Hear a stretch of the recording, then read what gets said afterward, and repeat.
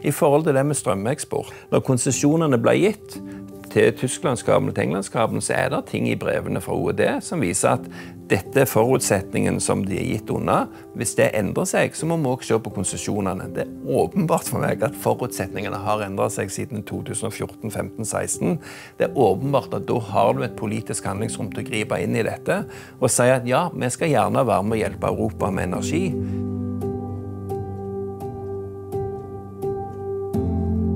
Velkommen til Toyes time, og i dag har jeg med meg Ketil Solvik-Olsen. Du er nestleder i Fremskrittspartiet og har for tiden tatt en tur ut av Stortinget og inn i det private næringsliv.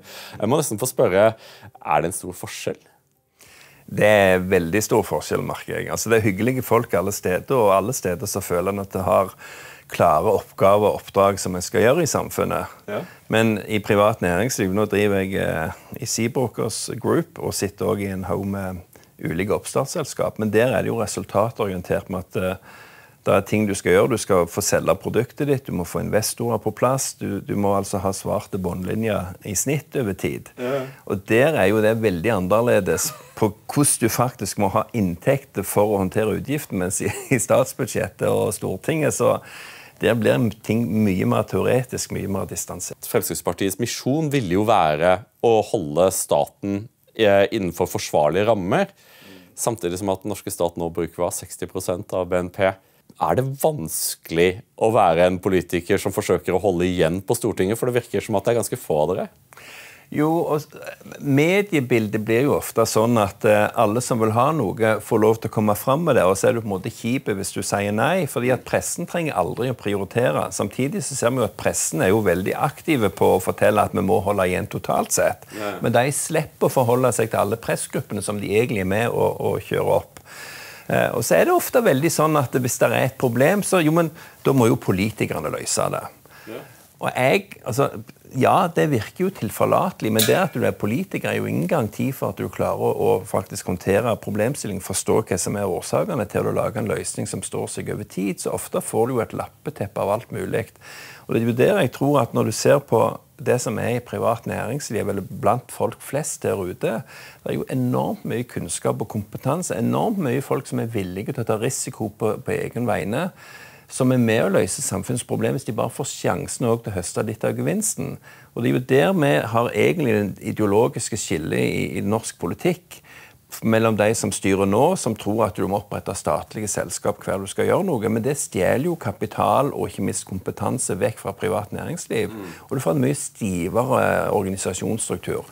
Kontra måtte vi på høyresida, som tenker at alt det mangfoldet som privat næringsliv står for, viljen til å ta risiko, viljen til nyskapning, viljen til å snu seg raskt, den går du jo glipp av hvis staten sitter og skal styre alt. Og det er derfor jeg tror men Du må ha en, en slags miks på dette. Men miksen i dag er altfor mye i favør eh, staten, altfor lite i eh, favør eh, det mangfoldet som er. Statens rolle skal jo egentlig være å legge til rette for en, en, en jevn spillebane, felles regler. Og så må jo de som er mest kreative, flinkest, de som står på, være de som vinner fram. Ikke de som er kjappest til å springe til staten og be om penger. La oss si da at høyresiden ønsker at eh, staten skal være dommeren som ser til at reglene holdes. Mens venstresiden ønsker å ha eh, staten som en slags libero, som, som sender ballen der de mener at den hører hjemme. Mm. Men nå har jo dette frimarkeds, liberale frimarkedsimpulsen har jo blitt svært kontroversiell i Norge pga. ett kasus, ACER og strømkablene. Hva i all verden var det som skjedde der, eh, og hvordan kunne Frp gå med på dette? Det er en veldig lang historie på akkurat det. Og det som jeg tror vi skal huske at Selv om mange av oss snakker for en, en velregulert markedsøkonomi, så skal vi jo òg ivareta våre interesser. våre de verdiene Norge står for. og Derfor tror jeg at når vi snakker, hvis vi, hvis vi løfter blikket litt mer før vi går på ACER Hvis vi snakker om hvordan bør økonomien vår fungere, jo, så mener jeg innslaget av det private bør absolutt være måte, sterkere til stede, fordi du får det mangfoldet, nyskapningsevne og evnen til å snu seg rundt. Så må samtidig myndighetene sørge for at alt som har med eksterne effekter, eksterne kostnader, være det seg miljø eller lignende, har en pris som da markedet må forholde seg til. Og I dag har vi nok vært for lite flinke til å ivareta både miljøeffektene. så må vi òg ivareta sikkerhetseffekten i dette. Og det har nesten vært fjernt fra mange. Og jeg skal innrømme selv at jeg har tenkt at just in time, verdikjeder og sånne ting har vært fantastisk. Du trenger ikke ha store lagerbygg og alt, fordi logistikken sørger for at du får inn det du trenger til neste ukes produksjon. Mye hvis, ja, hvis du klarer å unngå å ha svære lager, for spør enhver bedrift, statlig eller offentlig, hvor mye penger har du liggende på lager og bare venter? Mm. Så er jo det millioner av kroner. Det er, det er en kostnad. Sant? Enten må du låne det, eller så er det penger du ikke kunne brukt til å, å drive innovasjon med og lignende. Det var dette de sa da de forklarte oss at vi måtte ha disse strømkablene. Jo, ikke sant? Og det er der som jeg tror mange av oss har fått en oppvåkning med at den type tenkning funker i et situasjon der du har velregulert, og der alle følger spillereglene, og du kan stole på hverandre. Og så ser vi i verden i dag at den drømmen vi hadde om at Russland, Kina og alle skulle komme i retning av en felles regelbasert samfunn, eh, demokrati, det har ikke skjedd. Så tror jeg, altså, jeg tror fortsatt at vi på høyresida har vært mer opptatt av at du må ha et forsvar, fordi alle er ikke snille. Mm. Ikke det er litt sånn som På venstresida har de mest vært opptatt nå med at å, vi må fjerne atomvåpen, for ingen liker atomvåpen. Og det gjør ikke jeg heller. Mm. Men så lenge det fins, liksom, skal du da akseptere at ja, men vi tror på det gode, derfor fjerner vi det, og så tar du ikke hensyn til hva de onde gjør? Og Det er åpenbart det fins onde i samfunnet. Og Der kommer vi òg litt inn på ACER. at Hvis du ser på den debatten som var verdens energiforsyning og Norges energiforsyning for 15 år siden ca., mm. så gikk vi jo i et samfunn der ok, la oss samhandle mer, la oss stole mer, la den frie flyten gjelde, fordi at vi har i utgangspunktet mer enn nok. Og da er det sånn at Når Norge kan regulere kraftsituasjonen vår veldig enkelt gjennom eh, vannmagasinet Mange andre land kan ikke det. fordi Selv om de er gass- og kullbasert, så tar det tid å starte opp og ned. Eh, så Det må liksom være grunnlast, og så kan Norge regulere på toppen. Tanken var god så må jeg eh, understreke, fordi at i spørsmålet ditt så implisitt Frp var med på dette, en pådriver. Det er ikke jeg enig i. Okay. Fordi at når Åslaug Haga lanserte Norge som Europas batteri på Statnett-konferansen i 2008 Jeg var kritisk. Da var jeg energipolitisk talsmann. Fordi jeg så at her mister jo vi litt av konkurransefordelen vår. Så selv om jeg ønsker handel, så ønsker jeg jo selvsagt å ivareta vår beste forhandlingsposisjon som nasjon. Og det må vi ikke glemme. Selv om jeg tror at begge parter stort sett tjener i handel, så skal du ikke være dumsnill og på en måte invitere hele nabolaget på middag hvis du ikke har sikra mat til din egen familie først. Og Derfor var det å være Europas batteri, med den rovdriften det vil bety på vannkraft, den nedbyggingen av naturen gjennom vindkraft, og det at vi ikke skulle bruke våre egne fossile energiressurser, olje og spesielt gass, til, til energiproduksjon i Norge, det var min kritiske side. Så må vi huske det var Ola Borten Moe som framforhandla avtalene om England-Tyskland med ja, nettopp de to landene i 2012, så er det riktig at etter avtalen forhandla, så kunne gjerne Frp sagt at nei, vi ønsker å bryte inngåtte internasjonale avtaler. Det hadde vært ganske dramatisk i den internasjonale scenen. Det tror jeg hadde skapt mye mye konflikt og mye mye støy. Og jeg tror også at Vi kunne ikke, vi forutså ikke da hva problemet ville være. fordi at 2013-2014, hva var det den norske debatten var? Jo, strømprisen kunne gå ned i null fordi det var så mye ny kraft på vei inn i markedet. Så måtte stort overskudd at måtte, Som forbruker kjempeflott. Eh, men for å ha en balanse der òg energiselskapene ikke er konk, så må du ha en viss pris som gjør at de klarer å forrente kapitalen sin. Det var det som dominerte. Og så tror jeg når vi nå ser at samtidig som Norge skulle være Europas batteri, gikk inn i ACER, så har Tyskland, Belgia og mange andre land bevisst lagt ned kullindustrien sin.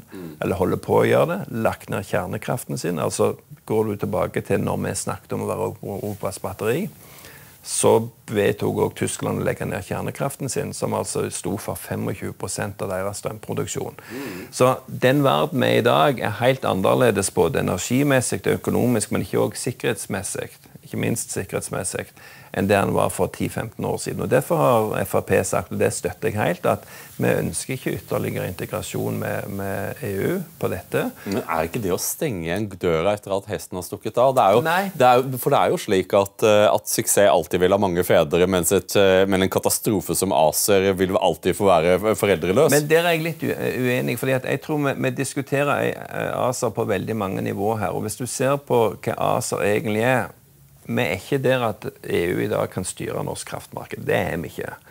Det som har skjedd med Europas batteri, ble vedtatt av det norske stortingsflertallet. Frp var kritisk, men de andre vedtok det lenge før ACER i hele tatt var tema. Det at vi inngikk avtalene med England og Tyskland, hadde ingenting med ACER å gjøre. ACER har ikke gjort en eneste beslutning mot Norge per i dag. Og Det jeg vil si at det ACER er, som Norge er med i i dag, det har fått fullmakter til å være med å si hvis, hvis vi bruker et bilde fra samferdselssektoren vi er enige om hvordan skal veiskiltene se ut. Sant? Hvordan skal fartsgrenseskilt se ut, hvordan skal avkjøringsskilt se ut. Men det er fortsatt opp til hvert land å bestemme hvor skal skiltene stå. Hvilke grenser skal vi ha på de ulike veiene. Men vi er enige om at for at vi felles skal kommunisere og forstå når vi krysser grensene, så er det sånn vi skal kommunisere til bilistene. Det som er fjerde energiparket, i ACER, neste skritt, der er min oppfatning at der vil EU får mer rett til å gå inn og si at nei, du får ikke lov til å bestemme selv fartsgrensen i ditt land. Mm. En ting er at vi er enige om skiltene, men jeg skal òg bestemme hvor de skal stå. og alt dette. Og Det må vi ikke finne oss i. Og Derfor mener jeg at vi har ikke gått over den terskelen der vi har mista selvråderetten, men vi har blitt enige om felles spilleregler i bånn. Eh, og Derfor har òg Frp på sitt landsmøte eh, sagt at vi går ikke neste skritt. Vi ønsker selvråderetten. Og fordi at noen kan dra i tvil på har vi selvråderetten, når vi måtte ha blitt enige om skiltreglene, så vil vi òg prøve å begrense innflytelsen som, som ACER-vedtaket har. Du har jo, har jo, vunnet deg en viss respekt på samferdselsfeltet. Det er ganske uvanlig at, at, politikere investerer så mye i et felt som det du har gjort. For da fikk du jo et felt det var vel bred enighet om at det ikke var noe å gjøre med. Eh, vi bare kom til å fortsette å bygge veldig lite vei for veldig mye penger, og det var umulig å gjøre noe med. Men du lyktes jo på det feltet til å få bygd en del vei, og det tror jeg til og med at opposisjonen, eh, og som nå er regjering, vil være enig i at, eh, at du fikk til noen ting der. Er det noen ting som kan gjøres på strømfeltet, eller skal vi bare belage oss på, på endeløse strømkriser om vinteren pga. at en eller annen tulling ikke forsto at vi kan ikke drifte Norge på solkraft i Tyskland om vinteren? Jeg mener vi absolutt kan gjøre noe. Og jeg, jeg, er jo glad for at folk Mange i hvert fall opplever at det er det jeg gjorde på samferdsel. Altså, det ene var jo økte bevilgninger og sånne ting, men, men det å bruke mer penger er for så vidt ikke den viktigste kunsten. Det å få mer igjen for pengene og se på systemene og strukturen, det er jo det som er det viktigste. og Det brukte vi jo mest tid på, og det er jo det som også gjør at du, du lykkes. Og det er jo egentlig der en burde gjort mer på energifeltet. Eh, og Da tror jeg du trenger politikere som kan tilstrekkelig om fagområdet til at de kan stille de rette spørsmålene. Det er ofte det det mangler. Eh, jeg lærte jo som statsråd at eh, liksom, du kan strengt tatt sitte i et statsrådskontor og framstå kjempetravel og gjerne oppleve reelt at jo, du har fryktelig mye, men alt du holder på med, er ting som kommer på pulten din fra embetsverket eller blir vedtatt som signal fra Stortinget. Og det kan holde deg travelt opptatt som bare det. sånn at det er ikke det at du ikke på en måte jobber, men du styrer ikke. Du, du peker ikke retning. Mye av det som vi gjorde i samferdsel, var jo å sette oss veldig mange mål. Og håndterte selvsagt alt det løpende. men jobbet med å endre strukturene. Og Det kunne vi gjort på, på energifeltet. Men da trenger du folk som syns at dette er kjempeinteressant, og vet hva det handler om, så du ikke bare aksepterer alle dokument som kommer på bordet, men stiller de kritiske spørsmålene. I forhold til det med strømeksport eh, Allerede, altså Går du på, på, på nettmedia, så vil du se at jeg i fjor tidlig høst begynte å snakke om at vi må slutte å eksportere strøm når magasinfyllingen under det som er normalt for året på det tidspunkt. Ja, eh, åpenbart.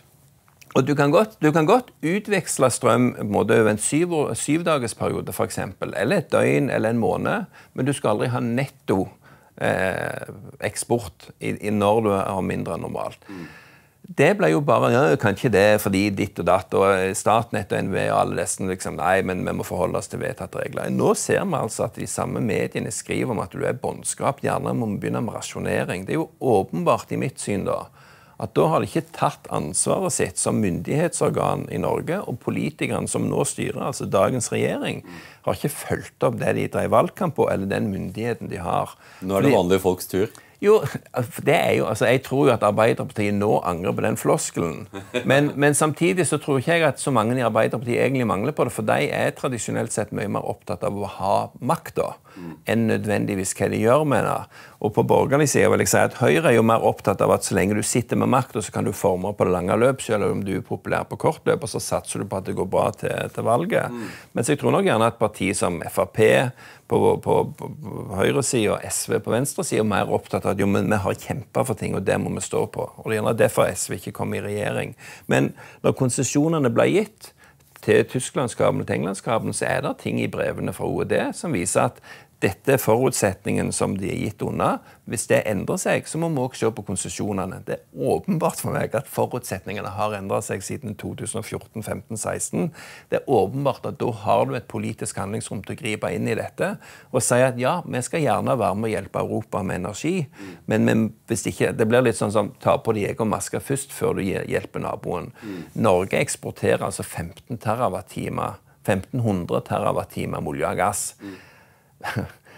Det er de siste 15 TWh med strøm, pluss minus, som vi nå eh, ser at norsk industri, norsk anleggsbransje holder på å måtte kveles av.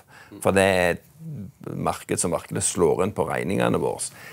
Når Tyskland sier at oh, kan ikke kutte eksporten fordi at det er avhengig av hverandre ja, vet du hva, Vi snakker om 1% av den totale energieksporten til Europa. Men akkurat strømmarkedet er ekstremt viktig i Norge. Um, og det, Utslagene det har på strømprisen, er jo helt eksepsjonelt høye. Og derfor, ja, vi har mulighet til å gripe inn. Vi burde gjort det. Nå ser vi istedenfor at rasjoneringsspøkelset dras opp. Jeg syns spesielt Senterpartiet, som når vet hvordan de var i opposisjon, burde skamme seg. Vi har jo hatt et litt sånn interessant valg bak oss. Frp etter å ha sittet i regjering, eh, som Frp brøt ut av. Men allikevel så klarte Frp til manges overraskelse å gjøre et habilt valg, tosifra. Siden valget så har Senterpartiet, eh, som Frp deler en del velgere med, har mistet to tredeler av velgerne. Og, og Frp har steget litt på målingene, ligger nå på Poll og Polls på 12,9. Eh, hvordan, hvordan, hvordan leser du dette bildet? Er det Frp som er gode, eller er det Senterpartiet som er dårligere? Hva er, det, hva er veien framover for Frp? Altså, veien framover for Frp er egentlig å få minne våre velgere, eller velgere som normalt appelleres av oss, til at vi er det partiet som har vært over lang tid. Mm. Utfordringen med å sitte i regjering, altså Fordelen med å sitte i regjering er at du faktisk får gjennomføre mange av ideene og standpunktene du har. Mm. Og, jo, jo, og der tror jeg at mange ser at og det hører jeg fra mange òg, at når de nå har sett hva farge gresset på motsatt side av gjerdet hadde, så var ikke det så veldig grønt likevel. Aha. Ikke sant? Sånn at da, jeg, jeg, treffer stadig flere som sier at vet du hva, nå virkelig savner jeg Høyre-Frp-regjeringen stort sett den de går på. Ikke, ikke Solberg-regjering med Venstre og KrF. Det er gjerne andre som gjør det, men veldig mange er liksom sånn at da skjedde det noe, da var det retning. Og så er det greit, dere krangla med Venstre og KrF, men dere fant gode kompromiss. Og det tror jeg gjerne er utfordringen vår. at så lenge vi var Høyre-Frp-regjering, så, så, var det en veldig tydelig retning. fordi så ulike er ikke Høyre og Frp. Jeg pleier ofte å si at Høyre-folk det er litt sånn som de gamle rederne, gamle penger og sånn store tankskip og sånt. Mm. Frp-erne er gjerne den litt mer sånn offshore-rederen med litt sånn små supply-båter som tåler litt annet vær og sånt, men, men alle driver med det maritime og litt ulikt eh, kultur. Men sant, vi, vi, vet hva det handler om. Eh, så har du så, liksom, når vi styrte, så, så vi visste hvor vi ville, og vi var nok litt mer sånn bånn gass, mens Høyre var litt mer på brems. Men summen ble allikevel rimelig god, vil jeg si. Står du ikke i fare for å idealisere relasjonen i regjering? Jeg synes å huske et Frp som, som, etter hvert begynte å bli, føle seg veldig ubekvem i regjering. Du husker bompengesaken, og så kommer eh, IS-moren. Ja. Og da hadde Frp fått nok og ville ut.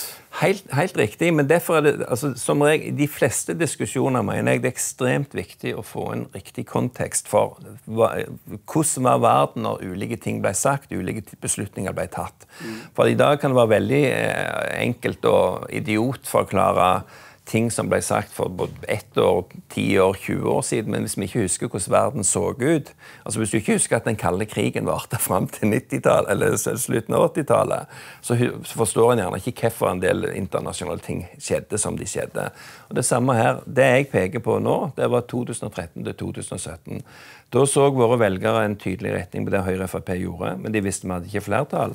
Men de fikk òg se tydelig konfliktlinjene som da ble dratt opp mot Venstre og KrF, og så at selv om Venstre og KrF òg fikk sine gjennomslag, så hadde de opplevd at vi kjempa for standpunktene våre. Det som jeg tror ble problemet mer og mer etter hvert som Venstre kom inn, og når KrF kom inn, det var at diskusjonene ble tatt på kammerset. Mm. Som er helt naturlig, fordi at regjeringen sitter på, måte, ja, på kammerset. Og det er sånn Høyre foretrekker det. Nettopp. Men problemet er jo da at når du da kommer til Stortinget, så opplevde ikke våre velgere at Frp-erne tok ord og liksom kjempa for FrPs primærstandpunkt. For det at beslutningen var allerede tatt, kompromissene var gjort. Og selv om jeg mener at hadde den jevne velger sett kampene vi tok på, i regjeringssystemet, så hadde de sagt fagerne dere kjemper jo enda bedre nå enn dere gjorde når dere satt i en mindretallsregjering. Men de fikk aldri se det, fordi at det blir ikke sendt på TV. Du, du sitter ikke i regjering og hudfletter kollegaene fra de andre partiene på TV. fordi at... Og Frp gjorde jo det også litt innledningsvis? Tid, tidvis, men ikke til den grad. Sant? Og det gjør at en del, altså Det er jo på en måte demokratiets lille utfordring. at Når du på en måte stemmer på, på, et lag og vil at de skal kjempe for dine standpunkt, og du ikke opplever det synlig, og media på en måte undertrykker litt det, og gjerne heller ikke løfte fram hva det, enkelte partiet regjeringen vant, men heller hele veien fokusere på hva var det KrF tapte, hva var det Venstre tapte, KrF tapte, sånn at det framstår som at alle har kun tapt noe. Yeah.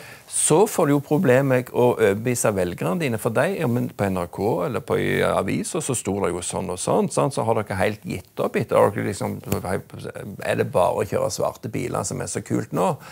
Og det tror jeg mange, spesielt Frp, kjente på. fordi der er igjen kulturen veldig annerledes enn i Høyre, som på en måte er avslappa på dette fordi at det er de gamle pengene som seiler på de syv hav, yeah. mens vi er ute og skal kjempe med bølgen i Nordsjøen hver dag. Sant? Den type greier. Og der, der tror jeg rett og slett ja, der er vi, vi har ulik tilnærming til det med Høyre. Eh, men igjen, hvis du kikker framover, så tror jeg at vi er nå i en fase der velgerne ser at jo, Frp står for det vi òg sto for i 2013 og i 2017, men som de gjerne følte ikke var så synlig i 2017 til 2021. Men det handler om å gjenvinne tilliten til at jo da, vi er fortsatt det partiet som best tar ordet for de tingene som dere er opptatt av. Ja, og det har jo gått fortere. Du vil selvfølgelig aldri innrømme det, men jeg, for meg jo, så har, det har dette gått fortere enn en, en, en forventa. Ja. Frp er allerede tilbake på 13 eh, Med et godt valg så, så, så, kan partiet komme tilbake der det var da, da det gikk i regjering. Men sånn som du snakker nå, hvordan ser du for deg en borgerlig regjering etter neste valg? For jeg forstår det dit hen at, uh, at, Frp og Høyre det er en naturlig konstellasjon slik du ser det, eh, mens du synes, du synes, å være langt mer avventende i forhold til de nødvendige støttepartiene. For uh, Vi kan vel ikke vente at Høyre og Frp sammen for over 50 av, velge, av stemmene i et stortingsvalg? En kan jo håpe på det fra, fra min side, men jeg tror ikke det skal være strategi nummer én. Eh, rett og slett av, av realistiske grunner. Eh, men nei, men allikevel, jeg tror at det er bedre at vi har en mindretallsregjering av Høyre og Frp, enn at vi skal strebe etter en flertallsregjering med, som inkluderer Venstre og KrF. Og Det tror jeg gjelder alle fire partiene. For hvis du ser valgresultatet i 2017 vi gikk ned med en drøy prosentpoeng. Det samme gjaldt Høyre. Det er jo egentlig eksepsjonelt etter å ha styrt sammen i fire år. Jeg var veldig imponert over det. Det var veldig overraskende. Rart at ikke mediene fokuserte mer på Ik det. Ikke sant? sant? Og, og, og, og, selv om på en måte både Høyre og Frp falt betydelig altså, Vi falt betydelig mer i 2021. Så kan du godt si at det handler om da har du fått åtte år, folk er blitt enda mer leie. Men jeg tror òg det handler om at velgerne våre så ikke Erna og Siv kjempe for standpunktene utad på samme måten som de gjorde før. Fordi at nå igjen satt en stille og rolig med Venstre og KrF og inngikk kompromissene. Og, rett og slett, der tror jeg på godt og på vondt litt av dramaturgien forsvinner når du har en flertallsregjering som dekker over de politiske motsetningene, og som gjør at velgerne ikke lar seg mobilisere, mens velgerne på motsatt side lar seg fortsatt mobilisere av at alle partiene kan stå ranke og regne og ikke måtte inngå noe kompromiss. Fordi vi så jo mange greier der de rød-grønne fikk framstå som at de fant kompromiss i energipolitikk og lignende. Jeg, husker, altså, jeg ble spesielt provosert når i Stavanger Aftenblad, som er min lokale regionsavis, de skrev flott på, på kommentarplass om at uh, gjennom uh, Agenda-tenketanken så hadde de rød-grønne sida samla seg om et energi- og, og klimamanifest. Og så leste jeg gjennom det, så det er jo bare svada. Altså, hyggelig svada, for all del. Men de har jo ikke berørt noen av de vanskelige standpunktene. Men kommer du til å gjøre det? Nei, altså, nei i, i, forkant så mener jeg at det å sette seg ned og lage brede kompromiss med Venstre og KrF, det er ikke vits i, fordi vi skal ikke sitte i, målet er ikke å sitte i regjering med dem. Men, men vi må allikevel peke at samfunnssynet på den borgerlige sida, inkludert Venstre og KrF, det er KrF som nå er, der har vi veldig mye felles syn på hva er familiens rolle, hva er de private organisasjonenes rolle, hvordan er næringslivets rolle i samfunnet. Så selv om vi ikke er enige på hvor høyt skal du skattlegge CO2, hvor, hvor mye reguleringer skal du ha på søndager og lignende, så er vi likevel ganske enige om hvilken retning samfunnet skal ha innenfor der. Og da tror jeg at hvis vi klarer å få fram det bildet, så vil vi alltid i løpet av et fireårsperiode klare å kompromisse på, på sakene. Men da bestemmer velgerne et styrkeforhold. Og så vil forhåpentligvis da Høyre og Frp gå og sette seg inn og lage en regjering.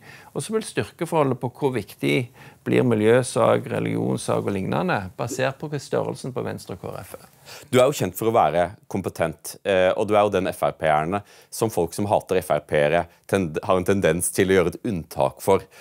Du er nestleder i partiet nå.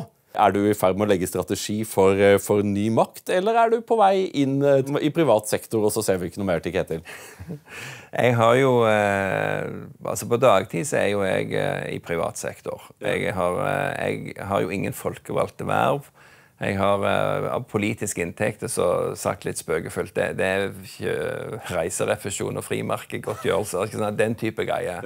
Så derfor Ja, jeg, jeg jobber i, i private bedrifter. Jeg er med i mye oppstartsbedrifter og sånne ting. Jeg jobber mye ja, jeg skal ikke si pro bono, men det er liksom eh, opsjoner på at noe kan gå bra i framtida. Men, ja. ja. ikke sant? men der, er for noen av det kommer til å bli verdiløst. Men det er litt sånn ulike lotteri. Men, men, alt er innenfor en sfære som handler om teknologi, mobilitet, transport og anleggsfaget. Men fremdeles så løfter du jo tungt i Frp. Du har, du har vært inne og hjulpet til med Oslo øh, og få liksom, få, få roen tilbake i, i partiet. Eh, og, du, og, det virker jo også som at på landsmøtet så var det jo Du fikk ikke inntrykk at du var på vei ut? Nei, fordi samfunnsengasjementet lever jo videre. ikke ja. sant? Sånn at jeg, Det er jo ting jeg vil med Norge og med samfunnet, og for meg så er Frp da et, et redskap og på en måte min forening. Der, ja, som jeg? Men der hørte jeg, det høres ut som jeg har en egen plan. der det, Men liksom, det, det er min politiske familie. Ja. Så selv om jeg nå ikke har det som levevei, og liksom det er andre som håndterer den daglige plikten på Stortinget, i kommunestyret og sånne ting. Og, og, kjempebra. Så har jeg veldig lyst til å være med på laget. Og jeg, jeg har såpass tillit til egne evner at for meg så kommer ikke politikken noen gang til å være det yrket jeg må ha for å ha inntekter. Det, det føler jeg jeg beviser nå sjøl. Mm. Men jeg har fortsatt så mye inni meg jeg har lyst til å bidra med, at det å ha nestlederverv i Frp er for meg en kjempefin måte å kunne være med og påvirke både i Frp, ha en stemme utad, Samtidig som masse andre folk har, en, har dette som sitt yrke og er med og, og skrive alle de notatene, gjør alle de debattene i Stortinget og kommunestyret andre steder. Og så, og så, er det på en måte lagfølelsen vi må få på plass. Ja, absolutt. Så hva min rolle er om to år, fire år, seks år, ti år altså jeg, jeg klarer ikke å se at det skal skje noe i verden som gjør at jeg ikke er Frp-er. fordi det er på en måte grunnsynet og liksom, hvem er det jeg er. Mm. Uh, men jeg har aldri hatt som mål at jeg må være den som utfører alle oppgaver. Men så lenge jeg kan være med å påvirke laget i riktig retning, og hvis de ønsker meg med på ulike ting, så prøver jeg å stille så lenge jeg kan. Men det er, liksom, det er ikke den personlige maktambisjonen som sådan som er driveren. Men Det kan man jo ikke si høyt uansett. Men du jobbet, du jobbet jo veldig tett med, med, Siv Jensen, og etter alle kanter jeg hører, så var det et velfungerende partnerskap. Hvordan er det å jobbe med Sylvi? De er ulike personer, men jeg tror at uh, Sylvi holder jo på å gjøre en del av de spådommene rundt henne til skamme på at hun er altfor spissformulert og sånne ting. Ja, Hun er veldig klar og tydelig i talen. Men jeg tror du har fått en helt annen Frp-leder hvis du ser nå, enn det mange spådde for bare et år siden. Uh, så tror jeg at altså, i politikken Ja, vi som er i, i et gitt parti, vi, vi deler mange grunnsyn i samfunnet. Derfor en havner der. men det er ikke sånn at en dermed plutselig er omgangsvenner og alt sånne ting. Jeg tror De fleste av oss som politikere lever våre egne liv uavhengig. Det er ikke sånn at vi går i middager til hverandre. og sånne ting. Det, det, har jeg aldri gjort med noen av partivennene mine. Mm. Jeg sykler med noen av dem. Det er Jon Georg Dale og dessen. sant? Jeg har lurt alle de til å kjøpe sykler og, og sånn. så Sånn, så det det syns jeg er trivelig. Men jeg kan nesten ikke huske at jeg har vært hjemme hos Jon Georg og spist middag noen gang. og sånne ting. Sånn at, du skiller mellom jobb og det private. Kan du fortelle litt om, om din bakgrunn? Ja, det, det kan jeg. Altså, eh, jeg er opp, født og oppvokst på Bryne, på Jæren. med familien drev bensinstasjon som min farfar starta på 30-tallet, og min far drev til slutten av 80-tallet. Mm. Uh, så på en måte så har måte, olje og gass, eh, transport, mobilitet ligget som en del av hele oppveksten min. Sant? Min far, etter han solgte bensinstasjonen, så tok han noen runder med juss, men endte opp med å være disponent i et eh, som var busselskap og logistikkselskap. Mm. Selv har jeg jobbet i Leif Høeg rederi. Jeg har jobbet i OSM Aviation, som driver med pilotopplæring, eller driver med pilotopplæring. Eh, min svigerfar er eh, pensjonert lokfører, så alt innenfor samferdsel er spennende. Har bodd mange år i USA. Altså, ja, for... Trygg og god oppvekst på Bryne, ja. men eh, alltid drømt altså, Vi følte liksom at bo på, på Jæren, og så er det ingen slektninger i familien som emigrerte til USA. Følte oss jo, ja, følte oss jo helt mislykka. Det var jo faktisk foreldrene mine som kom bort eh, til meg en dag og så bare liksom Ketil, du skulle ikke vært utvekslingsstudent i USA, vel? Ja, ikke sant? Det var deres måte å få en kobling til USA. Og Jeg endte jo opp, jeg bodde et år hos en flott familie helt sør i Michigan, og sør for Detroit. Mm. Uh, og de var jo dumme nok når jeg reiste og sa 'come back anytime, Kettle. You're always welcome here'. Så to år seinere flytta jeg tilbake og bodde hos de i tre år til. Og tok studerte i Ohio.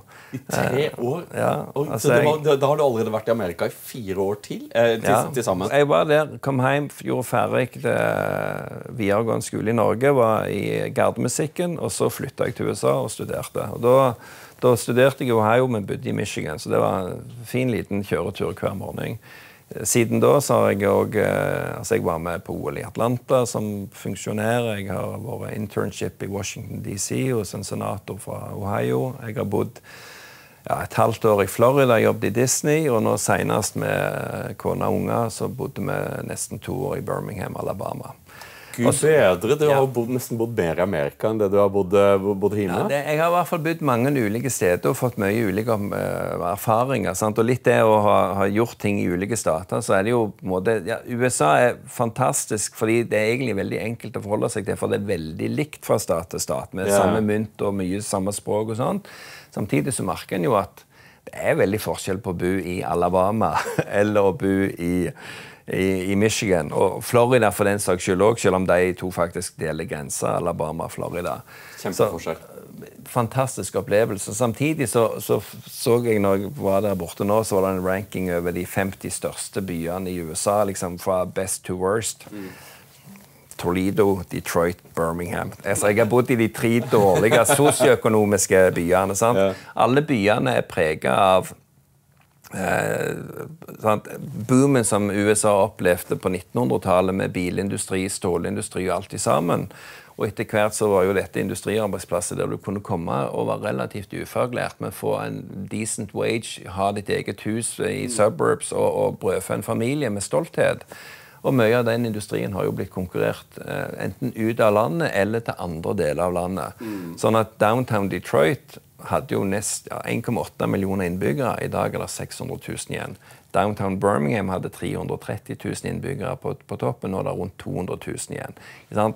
Så du, du, har jo en, en, en, en, litt sånn trist skjebne for enkelte av byområdene. I rustbeltet, ja. Ikke sant? Samtidig, der jeg bodde i Alabama fantastisk bydel. altså Velfungerende, beste skolene i USA og hele pakken. Men du skal bare kjøre 20 minutter til en annen bydel der stålverket var.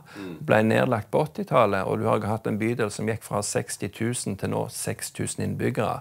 Og det er ikke rakettforskerne som blir boende igjen.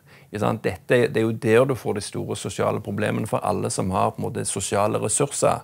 De flytter med arbeidsplassene de som ikke har ressursene, de som er på en måte litt taperne i samfunnet fra før av, det er de som forsvinner. Når du ikke får måte, samfunnets eh, stødige folk til å være fotballtrener, korpsleder, speiderleder, mm.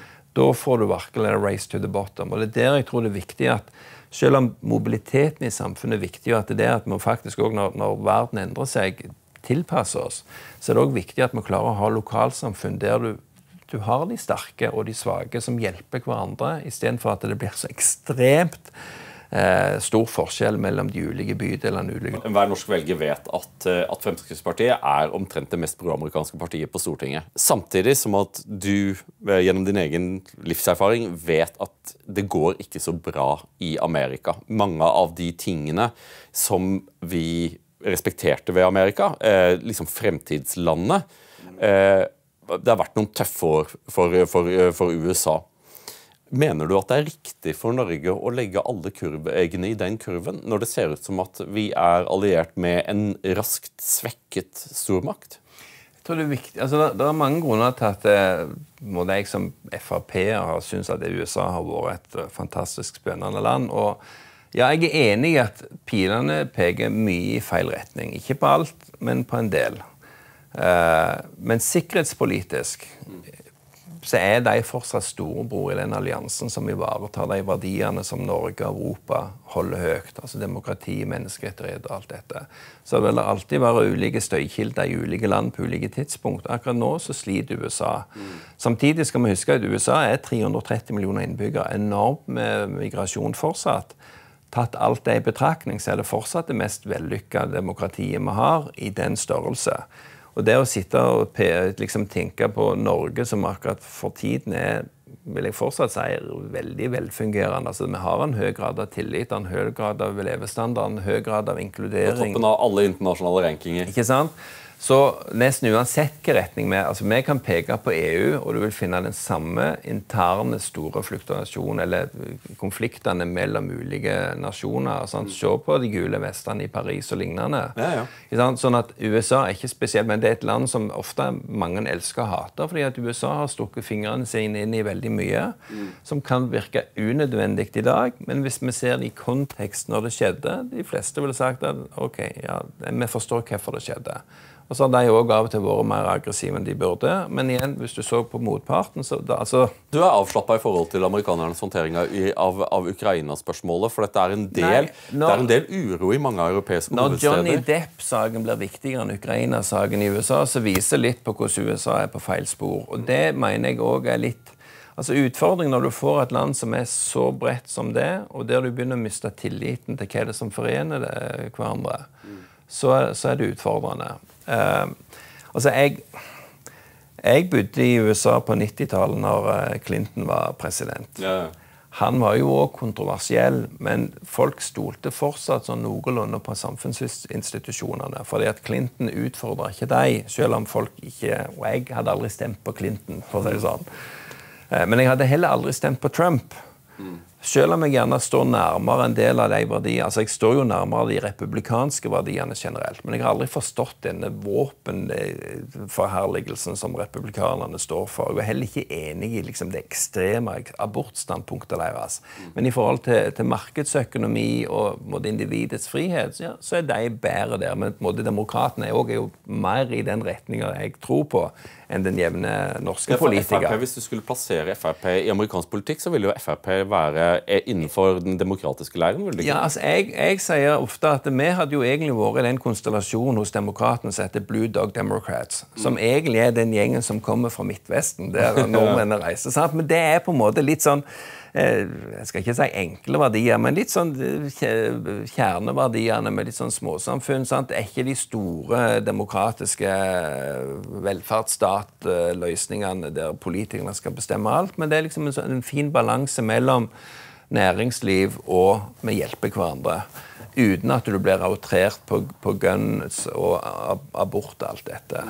Men det som jo er utfordringen, det er at Altså, jeg, jeg, var på et Trump-rally når han var i Mississippi mens jeg bodde i Alabama. Jeg var på et Trump-rally i Sør-Carolina. Ja, nettopp. Ja. Og, og når, når, du opplever han i to timer, så ser du at det er nok eh, mye mer litt sær, riktignok, men humor enn det velgeren, eller media kommuniserer. Han er en og, veldig god folketaler. Ja, og han vet altså, Han er litt bablende, men samtidig han vet han trykker på knapper. Han får folk til å le, han får folk til å engasjere seg. Men så sier han òg akkurat de 10-15 sekunds snuttene som virker helt outrert når du tar det ut av sammenheng, og som gjør at du får liksom en sånn polarisering.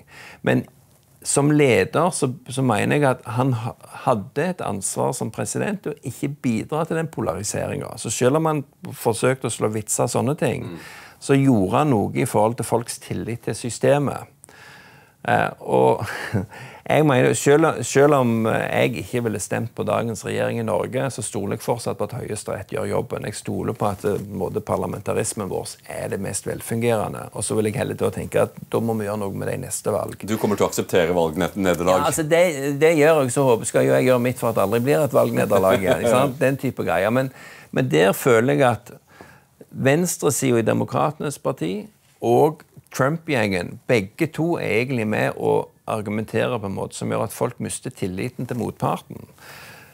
Og så er jeg veldig spent på hvor det skal gå. fordi at når jeg snakket med folk når jeg bodde der borte, så, jo, så mener jeg at folk flest på grasrota er mye mer nyanserte. De blir ikke revet med i spillet på samme måten. Men media er med å polarisere dette. Så spørsmålet er liksom at der folk i dag klarer å holde roen, vil de stole på den roen om ett, to, fem, ti år. Hvis media hele veien forteller at alt rundt de er i oppløsning. For til slutt så begynner du da å, å, å stole, slutte å stole òg på naboen din. Og det er der jeg føler at de siste årene så har liksom, flere og flere begynner å stole på en mindre og mindre omgangskrets av lokalsamfunnet sitt. Fordi du hører så mye rart om motparten, og du tenker liksom at det kan jo ikke bare være oppspinn det media kommer med. Nei, for det er voldsom splittelse mellom republikanere og demokrater i USA. Og la oss være ærlige, eh, om en to års tid så er det en god sjanse for at Donald Trump kommer til å stille som presidentkandidat igjen. Hvis han, stemmer, hvis han stiller, er det en god sjanse for at han faktisk kommer til å vinne det. Kommer det til å sette Frp i en litt vanskelig posisjon? Fordi det var jo egentlig bare representanter for Frp som var villige til å se noe bra i Trump eh, da han ble valgt forrige gang. Det er helt riktig, men der tror jeg også det er viktig at vi ser konteksten når de ulike støtteerklæringene ble gitt. Mm.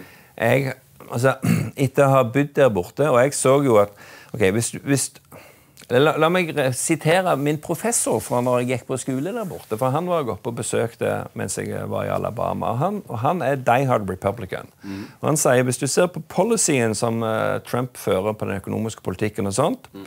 Så er veldig mye av det veldig bra. Han gjorde om på ting som gjorde at du fikk fart igjen i amerikansk økonomi. Arbeidsledigheten blant alle grupper i samfunnet har aldri vært lavere. Investeringer, nyskaping og sånne ting går riktig vei. Problemet, sa han, og, det, og det syns jeg jeg skulle eh, huske i og med at han hadde den politiske holdningen han hadde Problemet er at han river opp samfunnets tillit i, med, med, røttene. Mm. Og uansett hvor bra ledighetstall du får, når du ødelegger samfunnets strukturer, så ødelegger du samfunnet i sum. Og Det er grunnen òg. Sånn at mange av de fra Frp som støtta Trump innledningsvis, gjorde jo det når måte resultatene pekte i god retning. Mm. Men vi så jo på slutten hvor ille Trump er som person, i hva han er villig, hvor langt han er villig til å gå for å opprettholde sin personlige makt. Ja. Og Det er jo veldig ødeleggende. Der så du òg at stort sett altså Til og med Tybring-Gjedde, som lenge var ute og var veldig positiv til Trump, mm. var basert på resultatene han hadde i den økonomiske politikken. Men når han gikk der han gjorde, spesielt etter valget, mm. så forsvant jo òg den støtten. Så nei, jeg mener Frp har ingen problem å forholde seg. Kommer Frp til å være positive til Trump hvis han stiller igjen? Altså, det er jo ikke et parti i Norges rolle å være positiv eller negativ til en kandidat i utlandet. Men jeg tror ikke du vil finne mange i Frp som åpent går ut og sier at Trump vil være en god løsning for USA. Den politikken republikanerne står på, mener jeg fortsatt en god løsning for USA. Unntatt i gun-politikken og litt sånne ting som jeg har nevnt.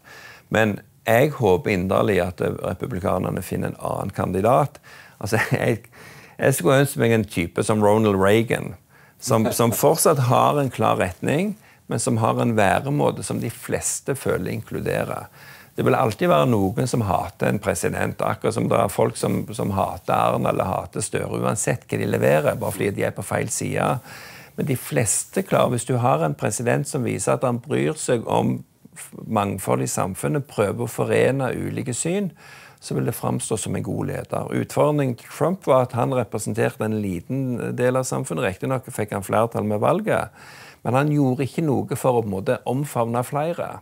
Og da blir, da blir konfliktene så mye spissere. Og det som, det som, jo er interessant, er at jo, han tapte valget, men han fikk jo flere stemmer i 2000, altså ved siste valg enn i første valg. Men åpenbart så provoserte han samfunnet så mye at motparten, som var en relativt kjip kandidat, klarte allikevel å mobilisere enda mye mer enn det Trump gjorde. Så for demokratenes del så håper jeg at de får en litt friskere kandidat men ikke minst for republikanerne, som jeg naturlig pleier å heie på, så håper jeg at de får en fyr som både står for de tradisjonelle gode verdiene, men som òg framstår som en likende kar for de som eventuelt taper på motsatt side. Jeg blir ofte litt sånn opphengt i media, men det er fordi at media er med å forme hva folk tror om ting. Og Derfor er det så trist å se at amerikansk media Jeg mener mye av det skrevne media i USA er egentlig bedre enn det skrevne media i Norge. Mm. Men du har Fox og du har MSNBC og du har til dels CNN, mm. som er så ekstremt nærmest aktivistiske i måten de dekker media på. Og jeg, Det er litt, litt erfaringen jeg hadde fra når jeg bodde i USA. I familien der jeg bodde, der var det to tvillingsøstre. Den ene var vertsmor med hun andre flytta inn pga. helsa. Hun ene satt og så kun Fox News, og andre så kun MSNBC. Og de kunne ikke sitte i samme rom og diskutere politikk. Og når du kommer dit, så, så har vi krysset noen grenser som er veldig vanskelig for et samfunn å komme tilbake.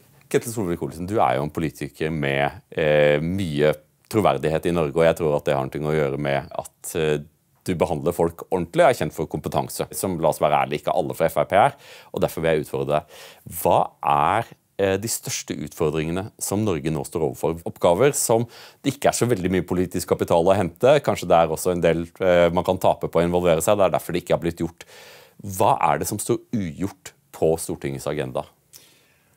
For det første så mener jeg at du finner like mye kompetente folk i Frp som i alle andre partier, men med en brukerforsamling i alle partier òg. Og folk har kompetanse på ulike steder. Og så tror jeg òg ja, jeg har vært opptatt av at vi skal snakke med innestemme. Fordi at det, ting er komplisert. Og det ser jeg òg i privat næringsliv. Én ting er å si innovere noe nytt, men det å gå fra der til å faktisk få noe som står seg, som du kan tjene penger på, som har livets rett, er veldig vanskelig. Og derfor er alt det som nå snakkes om med grønne skifter og sånne ting, ja, det er viktig, fordi det er viktig å hele veien øh, utvikle næringslivet. Men det er fryktelig enkelt å sitte som politiker og si at nå skal vi finne opp noe og så ta det videre. Jeg bare se hvor dårlig EU er på det. liksom Endeløse strategier for, for, for voldsom industriutvikling, og så ja. skjer det bare ikke. Sånn at det, altså det jeg tror ikke det jeg skal, skal, si nå er det aller viktigste, men jeg tror allikevel det er viktig. fordi at vi er så opptatt i Norge at nå skal vi bruke masse penger på å, å, både, ja, det, det, grønne skiftet og Innovasjon Norge og sånne ting. Men der opplever jeg litt med, med å ha måte, hendene midt oppi det òg, at vi bruker fryktelig mye penger på å lage alt mulig markedsavklaringsstudier. Alle mulige folk skal få sjansen til å tenke. Men tenk, altså tenke nytt. Men det å faktisk komme og se Er det faktisk et marked som etterspør dette? Mm. Er det noe du faktisk, altså En ting er vi kan omsette for så og så mange milliarder kroner i, i offshore havvind. Ja, Men hva kommer den strømmen til å koste til slutt? Mm. Er det lønnsomme arbeidsplasser eller er det subsidierte arbeidsplasser? Det, mange av de spørsmålene forsvinner ofte. Og det er litt for mange bedrifter som bruker mye tid på å blidgjøre opp Stortinget i håp om å få ut noen millioner kroner ekstra i av risikoavlastning og sånt, mer enn å bare si vi gir generelt gode rammebetingelser.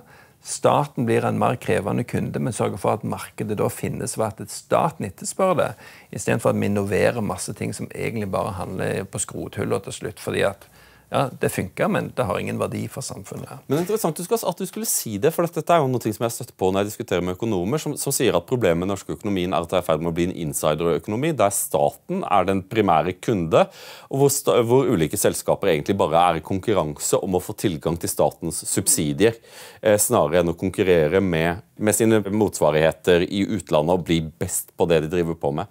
Er det en rimelig beskrivelse av en fare ved norsk økonomi? Ja, jeg, jeg syns det. Og faren med det er òg at selv om eh, du har mye kompetente folk i offentlig sektor, så er det en veldig mye mer rigid struktur. fordi at det er politikere som gir styringssignal som så omsettes av ledelsen i ulike etater, direktorat og statlige selskap. som igjen da, sant? Sånn at det er så mye hierarki. Og der du, der Det er noen som tar seg friheter, men de fleste er veldig tro med akkurat den bestillingen de har fått. Mens i privat næringsliv så vil folk kunne snu seg mye mer rundt, fordi du risikerer mer dine egne penger, og da kan du òg mye mer innflytelse på beslutning som tas, på godt og på vondt. Så privat næringsliv er jo ikke en garanti på at de alltid tar gode beslutninger, mens offentlig sektor tar dårlige beslutninger. Tvert imot. Men privat næringsliv gjør jo at du kan Hvis folk ikke lykkes, ok, så forsvinner det selskapet, men de som lykkes, kan vokse videre. Mens hierarki i offentlig sektor tillater ikke den samme dynamikken, og dermed så blir det stivere, det blir tregere, og du får mindre igjen for pengene. Men det jeg tror som er den aller største utfordringen som, som vi må jobbe med, som òg er fryktelig vanskelig for det, altså, jeg sitter, altså igjen, Når jeg er daglig leder i Cyberokers fundamentering, vi er altså en av de største anleggsbedriftene i Norge på fundamentering av bygg og, og vei og sånne ting. Vi er konstant på utkikk etter folk. Og det, Vi trenger ikke folk som har seks års eh, universitetsutdannelse. Vi trenger folk som kan styre maskiner uten å ødelegge dem, som på en måte kan ta ansvar og sånne ting. Ja. Og dugelige folk. Dugelige folk, dugelige håndverkere. Mm. Men som ikke skal måte, slite ut ryggen sin på tunge løft, men som allikevel skal gjøre viktige ting med dyrt utstyr. Men trenger ikke ha mastergrad i kjønnsstudier? På ingen måte. ikke sant? Problemet er bare at det er altfor få av dem. Og, og mange av, altså, Det er ikke fordi at de ikke finnes, men for mange av de ender opp i et skolevesen som ikke verdsetter måte, den praktiske kompetansen. at ja, Det er jo engelsk litteratur og norsk litteratur og ja, kjønnsstudier og alt mulig sånne ting. Det er òg en del av det som vekter de, og så framstår de som tapere i samfunnet, og så detter de ut av skolen. Det er jo mange av de som jeg tror ville hatt en fantastisk både mestringsfølelse og god inntekt hvis vi hadde fått de inn i norsk næringsliv.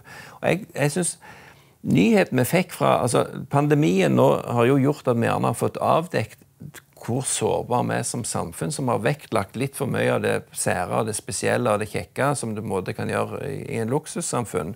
Men der vi da har helt glemt at vi trenger òg å ha rørleggere, tømmermenn, håndverkere og andre. Og bønder? Ikke sant? Og bønn, ikke minst. Og det, og det var akkurat det jeg tenkte på. at Når, når vi altså kunne lese i nyhetene i, i, i fjor at norske jordbær råtner på åkrene fordi vi ikke lenger klarer å plukke våre egne jordbær, og folk på Nav som får da muligheten til å ta jordbærjobber, gir opp etter en dag, det mener jeg faktisk er den største utfordringen vi står for. Fordi at verden kommer til å bli mer og mer komplekst i forhold til hva slags system og løsninger vi har tilgang til. Altså Alt fra hvordan designer du til mobiltelefon, til hvordan organiserer du samfunnet. Alt blir mer komplekst. Og ja, det krever at vi har noen ekstremt flinke teknologiske miljø, ekstremt flinke folk som klarer å se de store linjene og forstå verden. Men i bunnen så trenger du ha alle de som får hverdagen til å funke, som kan håndtere maskinen, som kan fikse maskinen, som, som, klarer å skru på en PC, skru på en boremaskin, skru på en bil, skru på en buss, kjøre en buss og gjøre det med stolthet. Du vet, og du kan leve av de inntektene. Hva kan vi vente fra, fra deg framover? Eh, kommer du til å være med på, på laget fremover med Fremskrittspartiet? For du har allerede skissert hva som er det foretrukne styringsalternativet med Frp og Høyre. Eh, kommer vi til å se Ketil Solvik-Olsen som minister i en fremtidig regjering? Eller er du bare nå i den fasen der du bare du, du rydder opp og ser til at allting er i god stand, før du fortsetter veien inn i det private? Nei, du vet, den, den største gleden min ville jo vært å se Frp som landets største parti. Eh, men igjen, og det må du bare tro meg på, selv om jeg vet mange liksom men, men, jo, eh, det viktigste for meg er at Frp gjør det godt, at vi har et mannskap som vi er stolte av, og som vi utfyller hverandre på en god måte. Og Hva min rolle i det vil være, det vil tida vise. Men jeg, eh, altså jeg har ofte sagt at jeg har lyst til å være med der beslutningene tas, men jeg må ikke nødvendigvis spille hovedrollen. Og Så vil, vil rett og slett tiden vise hva, hva, som skjer. Men jeg syns òg det er veldig gøy å holde på i privat næringsliv. Det er en kjempeerfaring. Jeg tror de fleste politikere hadde gått over faktisk være med og drevet egen butikk og sett hvor utfordrende det er, og ikke minst hvor utfordrende det er å forholde seg til stadig nye regler, lover, påbud og lignende. For det, det tar mye tid. Eh, og så er jeg veldig glad i å sykle, så jeg har jo sykkelreklame på jakken. Jeg er veldig glad i biler. Så det er mye ting som gir livet mening. Men det å ha et godt samfunn å bo i, det er må de veldig viktig ramme for at de fleste av oss skulle kunne leve gode liv. og Derfor er det politiske engasjementet det kommer til å være med meg hele livet. Er jo, nå er du jo tilbake på Vestlandet, og det er jo ingen til steder hvor vestlendinger trives så godt som når de er vestpå. Er det fint å være og ha en jobb der du må, må reise mye til Stavanger? Ja, jeg er familie, og jeg bor jo i Oslo, men eh, hovedkontoret på, til Seabrokers ligger jo eh, i Stavanger, ja. Og da bor jeg hjemme i eh, barndomskjellerstua på Bryne hos far. Gjør du det? Ja, så nei, det, det, føles godt. Jeg merker jo når jeg er hjemme at eh, liksom, Jæren, det, det, er der jeg egentlig hører til. Eh, samtidig så er jeg jo veldig glad i familien, så det, liksom, det å kunne være hjemme og legge ungene, det gir alltid en spesiell glede. Så Sånn sett, Det er godt å ha tilhørighet mange steder. Akkurat som jeg òg har hjertet fortsatt i USA. Og slik du fortsatt har hjertet i Fremskrittspartiet, forstår jeg. Ketil Solvik-Olsen, takk for at du kom til Torjus time. Takk for at jeg fikk komme.